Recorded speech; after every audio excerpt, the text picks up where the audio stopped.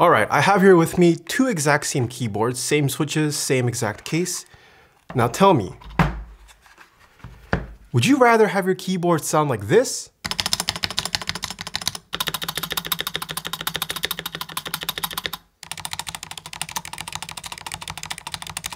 Or like this?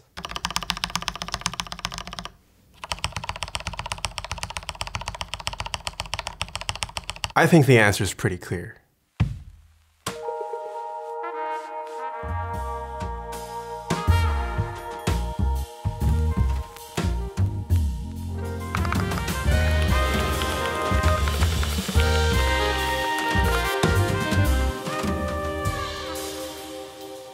Hello, hello, I'm Taeha, and in this video, I'm going to be teaching you how to lube and tune your stabilizers. When building a custom mechanical keyboard, this is something that I think is absolutely essential to the process. You know what? In fact, I'm gonna say it. This is the most important mod you can do to a keyboard as the quality of your stabilizers will make or break your final build. Now there are many other methods out there and there's no one true way to tune stabilizers, but I'm going to be showing you guys the method that I personally use, which is a fairly standard one that predates even myself, but with some personal touches. I think the introduction of this video showed pretty clearly why you might want to tune your stabs, but let's talk briefly about what it is we're exactly trying to achieve.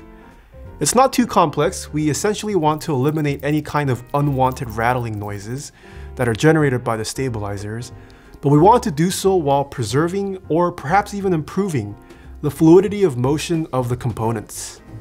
With that out of the way, here's what you'll need. You're going to need your stabilizers of course, my current preferred choice being Durock screw-in stabilizers. You're going to need a lubricant. Now I use Krytox 205 grade 0 for everything as I believe it is the best material, but I will be providing alternatives at each step throughout the video. You'll also want a paintbrush. I think smaller and thinner paintbrushes tend to work well. I personally recommend double zero or triple zero sized paintbrushes, a syringe, and a flush cutter. Now these last two items are somewhat optional, so I highly encourage you to watch the video in its entirety before deciding to purchase these last two items. And as always, I will have links to everything down in the description box below. First, we start off by disassembling the stabilizer. Hold one of the plastic ends, grab the wire, and turn it 90 degrees upwards. You want to do this to both ends and separate out all the pieces.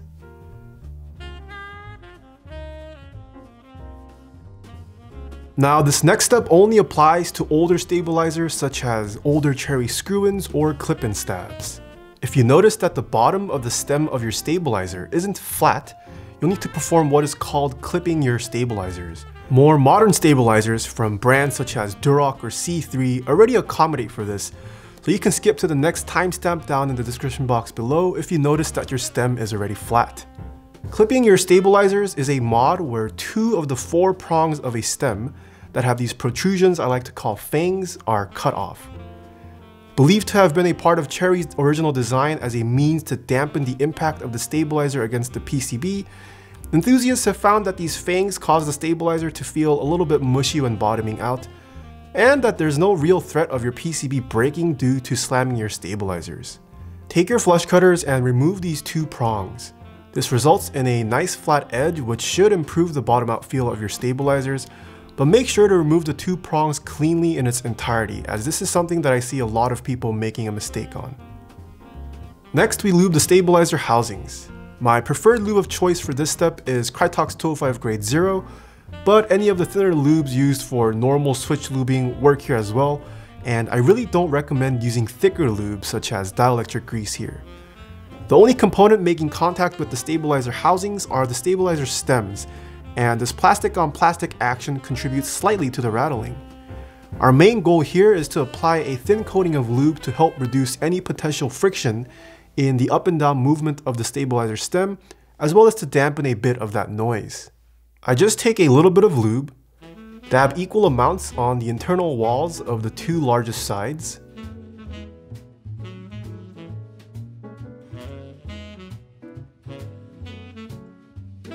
and whatever remains goes on the back edge. Then spread the lube evenly across all these surfaces.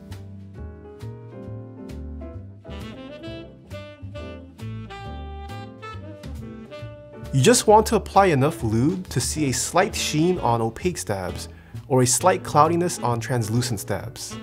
At this point, we can reinstall the stabilizer stem back into the housings we just lubed. On the stem, you'll notice there's a side with two holes, and opposite it, a side with one hole. You want to match the side with two holes with the open face of the stabilizer housing, and then simply insert.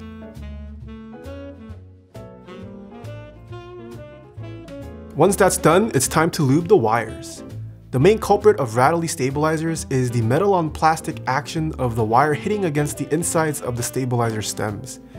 In my opinion, the best remedy for this is to essentially fill the gaps inside the stabilizer stem with a semi-thick lubricant so that the wire still has some freedom to move around, but will experience some resistance such that it won't hit against the inner plastic as quickly to generate that rattle. For this step, I recommend you use either Krytox 205 grade 0 dielectric grease, or super lube. Using any thinner lubes will prove to be not as efficient in restricting the movement of the wire, and going with thicker lubes may restrict the wire's ability to move too much to the point it makes your stabilizers feel sluggish. Now, while I would love to say measure out X grams of lube and spread it, I can't really recommend that, nor do I think it would be valid, as the amount of lube required will vary from stabilizer to stabilizer even within the same brand, and may even be affected by components such as what keycaps you're using. For this step, I go purely off visuals and adjust accordingly as needed, and as you tune more stabilizers, this is something you'll naturally start to get a feel for. I simply take a dollop of lube. If you're using Krytox 205 grade 0 like myself, then you can be fairly generous with this step, and spread it evenly across one end of the wire.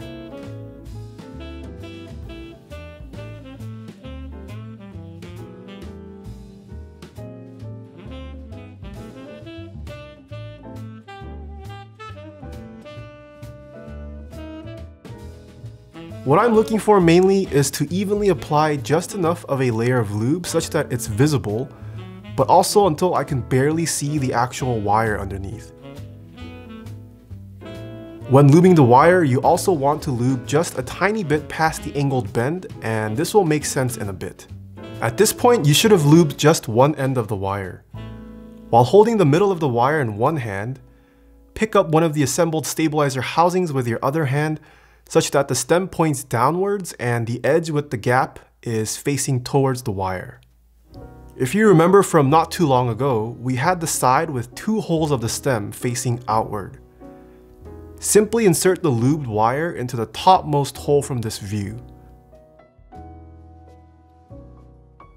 Then turn the stabilizer housing 90 degrees while slotting the wire into place. You should feel it click into position. Remember when I said to lube past the angled bend on the wire? This is why, as you also want a little bit of lube on the area where the wire bend is held onto by the plastic. By this point, we've basically lubed all the points of friction. Now you just need to repeat the process for the other half as well as the remaining stabilizers. The one additional thing to keep in mind as you repeat the process is to ensure that after installing both stabilizer housings back onto the wire, that they are facing the same direction. Once you've lubed all your stabilizers, it's time to test them. Install your stabilizers onto your PCB in the appropriate locations, then your plate if you're building with one, your switches, and then the keycaps. Now, at this point, everything regarding your stabilized keys should be installed, but we haven't done any kind of soldering. You don't want to solder until you're 100% happy with the state of your stabilizers. You can also install some additional switches if you feel that the plate flops around a little bit too much, as you don't want the plate to be hitting against the PCB during this next step. For this case, it's fine though, and we're gonna continue. From here, we're just going to spam the stabilized keys while listening to two things. One, you want to listen for any kind of residual rattling. And two, you want to feel for whether the stabilizer feels fine and that it's not too sluggish. So let's say after listening to your stabilizer, you feel that it could use more lube. Well, one way to add more lube would be to remove the stabilizer and open it back up to brush more lube on. But that's a little bit too tedious and time consuming. What I like to do is take this syringe that has a super fine tip to save myself the trouble of having to open the stabilizer up again. If you pull the stem of the stabilizer, it exposes that hole in the back, and that's where we'll be sticking the syringe into and injecting lube as needed. You do have to kind of finesse the needle tip in there. I generally like to have it placed anywhere towards the opening or about midway into the stem, and just slowly inject lube as you don't want to overlube. On the other hand, if you feel like your stabilizer is feeling too sluggish, it's probably a sign you overlubed. You'll unfortunately have to uninstall the stabilizer and open it back up to wipe off some of the excess lube. Once you've found the sweet spot of your stabilizer not creating rattle noises while not feeling sluggish, then congrats, you've successfully lubed and tuned your stabilizer. A couple final tips before parting ways. One, I recommend using the keycaps you'll be using for your final build when testing stabilizers. This video didn't cover more advanced stabilizer tuning subjects, but differences such as whether you're using ABS or PBT keycaps can affect how much lube is required by your stabilizers. So it's best to tune your stabilizers with the keycap set you'll most likely end up using. And two, whether you under or over lube, you're going to be playing around with this juggling act for a bit, especially if this is your first time trying to tune stabilizers. But don't get discouraged. Building a keyboard isn't about speed running, it's something you want to take time with, especially when it comes to something so important like stabilizers.